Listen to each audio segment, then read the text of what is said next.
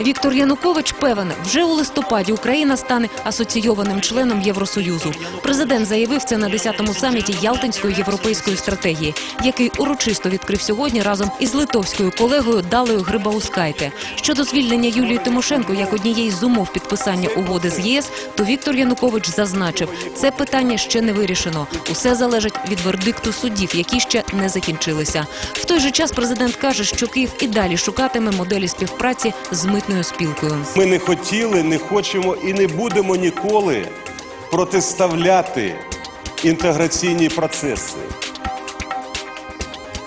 Захід, схід. Ми хочемо їх об'єднати. І на цьому шляху Україна йде впевнена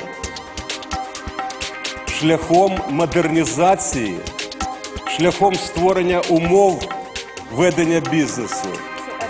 Україна сьогодні в центрі уваги євроспілки і всіх європейців. Європа сьогодні в центрі української політики. Президент України чітко наголосив, що асоціація з Європою це стратегічний вибір України.